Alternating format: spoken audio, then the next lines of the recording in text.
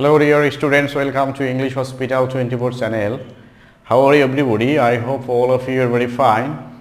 Today I will show you the uses of connectors and today it will be clear that how you will have to use connectors at the time of solving board question. So let's start it. Today I have selected Dhaka Board 2019 for our exercise. So you will have to be prepared and you will have to be 100% attentive to take this lesson and this is Dhaka Board 2019. This is the question, previous question of Dhaka Board. First on, you will have to go through the passage, what is about the passage this is a passage about school magazine and formation of school magazine and publication. A school magazine is a magazine that is published by the school authority annually. It contains poems, articles, essays and jokes. The publication of it is not an easy task. Dash it needs time, energy and money.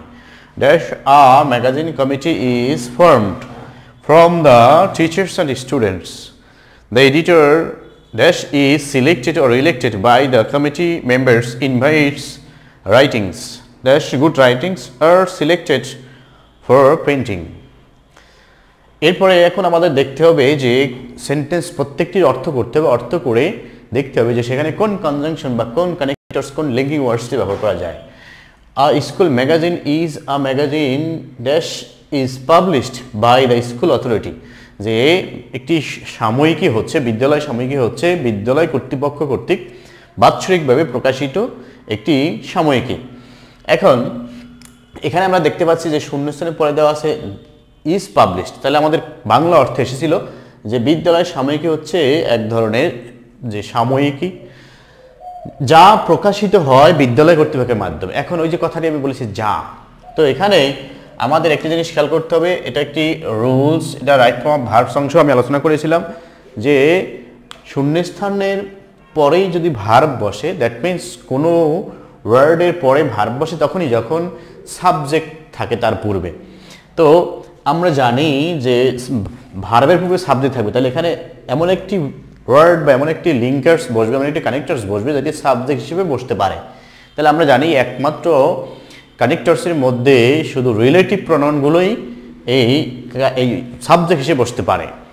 এবং আরেকটি নিয়ম হলো, যদি শূন্যস্থানের পরেই verb থাকে, তাহলে তার পূর্বে রিলেটিভ প্রণাউন বসবে। তাহলে রিলেটিভ প্রণাউনগুলো আমি বলেছিলাম গত আমার ভিডিওতে, যদিও সেই যে ভিডিওটির, যে সাউন্ড কোয়ালিটি একটু সমস্যা রয়েছিল, তো অবশ্যই সেজন্য তোমাদের কাছে আমি সরি এবং তোমরা একটু হেডফোন লাগিয়ে সেটা শুনবে। কারণ গতকালকে আমার এই যে স্পিকার যেটা দিয়ে আমি রেকর্ড করে থাকি, সেটা একটু সমস্যা হয়েছিল।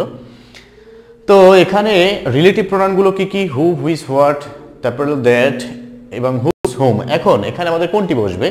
হু তো বসবে না, কারণ এখানে ম্যাগাজিনটার পরিবর্তে এখানে রিলেটিভ প্রোনাউন বসবে। তো ম্যাগাজিন তো ব্যক্তি নয়। তাহলে বস্তুবাচক যেটি রয়েছে, সেটি বসবে। তাহলে বস্তুবাচক, বস্তুর ক্ষেত্রে আমরা জানি হুইস অথবা দ্যাট ব্যবহার করা যায়। হুইস অথবা দ্যাট তো এই হুইস অথবা দ্যাট এখানে রিলেটিভ প্রোনাউন হিসেবে ব্যবহার করতে হবে। যে কোনো একটি পরীক্ষা আবার দুটোই লেখা যাবে না যে কোনো একটি লিখতে হবে। অনেক শিক্ষার্থীরা আমি খেয়াল করে থাকি পরীক্ষার খাতা চেক করার সময়, যে দুটো, তিনটে লিখে দেয়, কিন্তু তোমাকে লিখতে হবে একটি। হয়তো শিক্ষকের কাছে অল্টারনেটিভ একাধিক থাকতে পারে, কিন্তু তুমি পরীক্ষায় উত্তর করবে একটি। তাহলে এখানে হুইস ইজ পাবলিশ অথবা that is published by the school authority annually it contents poems essays articles and jokes the publication of it is not an easy task task তো কাজ, যে এর প্রকাশনা খুব সহজ কাজ নয়। এর তাহলে একটা কোশ্চেন এসে যায়, কেন সহজ নয়? হুম আমি তো বুঝতেছি না। তাহলে কেন বুঝতেছি না? কেন যে কোশ্চেন থাকে? তাহলে কেনর উত্তরটাই উত্তরে যে কথা বা কেনর আমরা সাধারণত বলে থাকি কারণ। তাহলে বিকজ অ্যাজ সিন্স বিকজ যে কারণ বোঝাতে যদি বসে, সেখান থেকে একটি এখানে ব্যবহার করলে হবে বিকজ ব্যবহার করা যাবে অ্যাজ ব্যবহার করা যাবে সিন্স ব্যবহার করা যাবে। কারণ এর জন্য প্রয়োজন হয় সময়, অর্থ এবং টাকা। সরি এখানে শক্তি। সময়, শক্তি এবং অর্থ বা টাকা। Dash a magazine committee is form তাহলে এখানে অনেক কিছু প্রয়োজনের কথা এখানে বলা হয়েছে। তাহলে সর্বপ্রথম যে কাজটি করা হয়, সেটি হলো কমিটি তৈরি করতে হয়। তাহলে সর্বপ্রথম বুঝাতে মানে কাজের ধারাবাহিকতার ক্ষেত্রে প্রথমে যে কাজটি করা হয়, সেটি হচ্ছে ফার্স্টলি বা অ্যাট ফার্স্ট ফার্স্টলি বা at first firstly magazine committee is form from the teachers and students শিক্ষার্থী এবং শিক্ষকদের মধ্য থেকে একটি কমিটি করা হয়।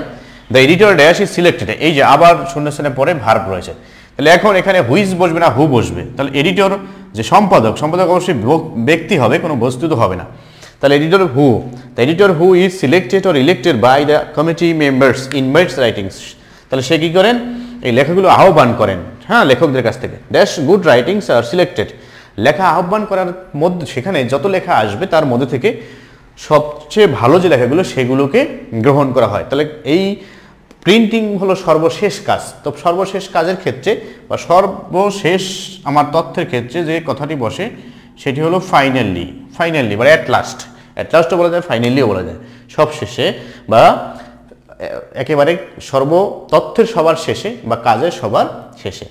তো এই একটি বোর্ড কোশ্চেন দেখালাম। তোমরা এই যে আমি যে কথাগুলো বলছি, কীভাবে কোথায় বসে, সেগুলো এর আগের ভিডিওতেও আলোচনা করছি। তারপরে এখন নতুন কিছু থাকলে সেগুলো নোট ডাউন করে রাখবে, লিখে রাখবে।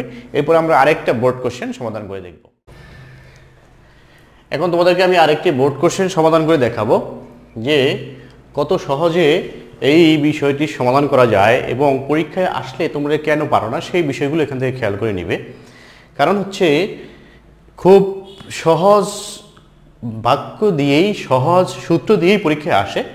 কিন্তু সমস্যা হচ্ছে যে তোমরা ওই পরীক্ষা হলে গিয়ে ঘাবড়ে যাও, ভয় পেয়ে যাও, যার কারণে তোমরা সূত্রগুলো প্রয়োগ করতে পারো না। তোমাদের জানা থাকে যে নিয়মগুলো একটু আগে আমি বললাম, দেখবে যে এখানে যে নিয়মগুলো দিয়ে আসছে সবই তোমাদের জানা থাকে। কিন্তু হয় তোমরা মিনিং বুঝো না, অথবা তুমি এত বেশি নার্ভাস হয়ে যাও যে তোমার জানা সূত্রগুলো প্রয়োগ করতে পারো না। সো এখন দেখো কীভাবে সমাধান করতে হয়। Morning walk is a good habit for all classes of people যে সকালে হাঁটা সকল শ্রেণির মানুষের জন্যই ভালো একটি অভ্যাস। Dash it is a simple exercise এটি হচ্ছে একটি সহজ ব্যায়াম। It is good for health dash mentality এটি স্বাস্থ্য এবং মনের উভয়ের জন্যই ভালো।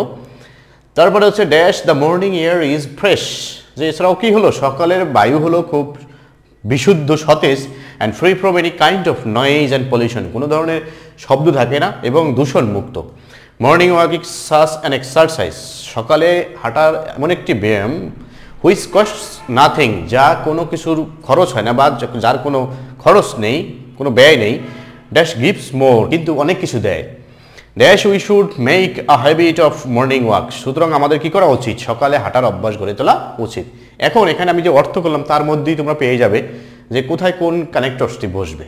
তো প্রথম শ্রেণীটি যদি আমরা দেখি যে সকালে হাঁটা হলো প্রত্যেক শ্রেণির মানুষের জন্য ভালো ব্যায়াম এরপরে dash it is a simple exercise এটা হলো একটি সাধারণ ব্যায়াম।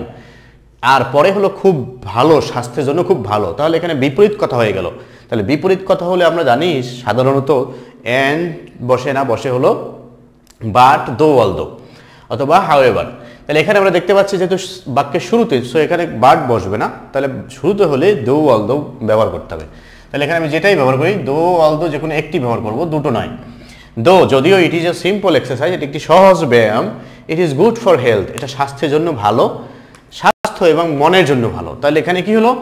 দুটো একই জাতীয় শব্দ যুক্ত হলো, তাহলে অ্যান্ড দিয়ে যুক্ত হবে। It is good for health and mentality তাহলে it is good for health and mentality স্বাস্থ্য, দুটোই যদি একই জাতীয় ওয়ার্ড যুক্ত হয়, তখন সেখানে অ্যান্ড বসে। Dash the morning air is fresh এরপরে এখন একটু তথ্য দেওয়া হয়েছে এর আগে যে এটি সাধারণ ব্যায়াম এবং খুব ভালো শরীরের জন্য। তারপরে সকালের বাতাস আরও নির্মল, স্বচ্ছ। তাহলে এখানে অতিরিক্ত তথ্য দেওয়ার ক্ষেত্রে যেটি বসে সেটি হচ্ছে মোরোবার মোরোবার অথবা বিসাইডস বিসাইডসও দেওয়া যাবে। আরেকটি কথা মনে রাখতে হবে কানেক্টর সেন্টেন্সের শুরুতে বসলে বড় হাতে দিতে হবে। তাহলে অতিরিক্ত তথ্য যেহেতু দেওয়া হচ্ছে, এর আগেও বলা হয়েছে এর সকালে যে ব্যায়াম করার উপকারিতা, তারপরে এখানে আরও তথ্য দেওয়া হলো। ওয়াই এখানে একটু এক্সটেন্ডেড ইনফরমেশন হ্যাঁ?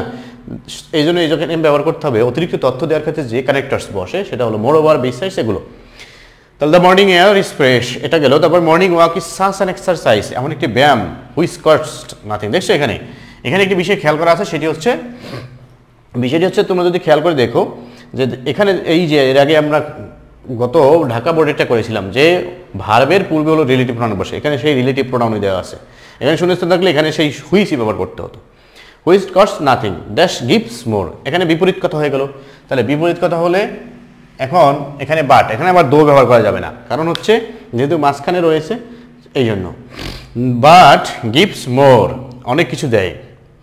তারপরে হচ্ছে dash we should make a habit. তাহলে সুতরাং আমাদের সকালে হাঁটার অভ্যাস গড়ে তোলা উচিত। তাহলে আমরা জানি, বক্তব্যের শেষে, সো বসে অথবা দেয়ার ফোর ব্যবহার করা যায়।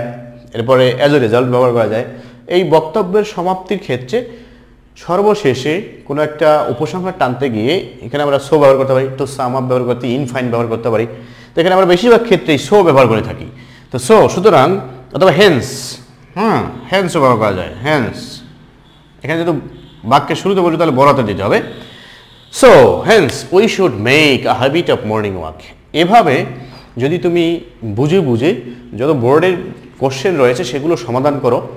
এবং বড় বড় যে স্কুলগুলোতে ক্যাডেট কলেজ বা ক্যাডেট স্কুল অ্যান্ড কলেজ যেগুলো রয়েছে, সেখানে থেকে যদি তুমি কোশ্চেনগুলো সলভ করো এবং আমাদের এই ভিডিও ক্লাসগুলোতে যদি পার্টিসিপেট করো, সেখান থেকে তুমি যদি মনোযোগ সহকারে মূল বিষয়গুলো খাতায় নোট ডাউন করে রাখতে পারো, তাহলে আমার আশা এগুলোতে ভুল হওয়ার কথা নয়। আমি যেভাবে এরকম সমাধান করলাম, এরকম অর্থ বুঝে বুঝে করতে হবে। ইংরেজি পুরো, যে কোনো জায়গায় ইংরেজি পড়তে গেলেই সর্বপ্রথম তোমার যে জিনিসটি নিয়ে আসতে হবে, সেটি হচ্ছে এর অর্থ। তো আমি আশা করছি আমার আজকের এই যে দুটো বোর্ড কোশ্চেন সমাধান করে তোমাদের দেখালাম। তোমরা এটা বুঝতে পেরেছ এবং এখান থেকে তোমরা অনেক কিছু শিখতে পারবে। তো অবশ্যই শিখতে পারলে আমার চ্যানেলটি সাবস্ক্রাইব করবে এবং এই চ্যানেলটি অন্য যারা তোমাদের পরিচিত রয়েছে, তাদের সকলকে সাবস্ক্রাইব করতে বলবে যাতে আমি আরও সামনের দিকে আগাতে পারি। তোমাদের সকলের কাছে এই অনুরোধ থাকবে। তো আমি সকলের উজ্জ্বল ভবিষ্যৎ কামনা করছি এবং আমার চ্যানেলের সাথে থাকার জন্য আবার উদত্ত আহ্বান জানাচ্ছি thanks for watching thanks to all thank you everybody